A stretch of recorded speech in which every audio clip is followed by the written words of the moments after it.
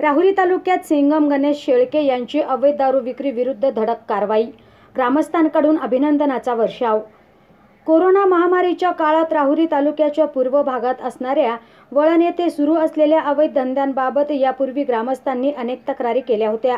परंतु कोणतीही ठोस कारवाई न झाल्याने या अवैध व्यावसायिकांनी अधिक जोमाने आपला व्यवसाय तेजीत आणला आहे. राहुरी पोलीस स्टेशनचे पोलीस उपनिरीक्षक गणेश शेळके हे सध्या सिंगमच्या भूमिकेत अवतरल्याने अनेक अवैध व्यावसायिकांचे धाबे दणाणले आहेत.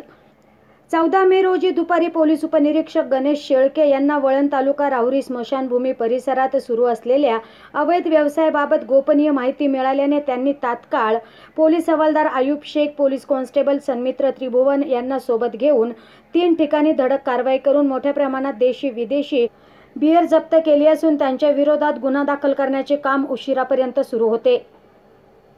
प्रतिनिधी Jalindar Dhokane news today twenty four Rahuri. राज्यातल्या आणि देशातल्या ताज्या घडामोडींसाठी आजच आमच्या यूट्यूब चॅनलला सबस्क्राईब करा आणि बेल आयकॉनला क्लिक करा आणि बघत रहा ताज्या घडामोडी.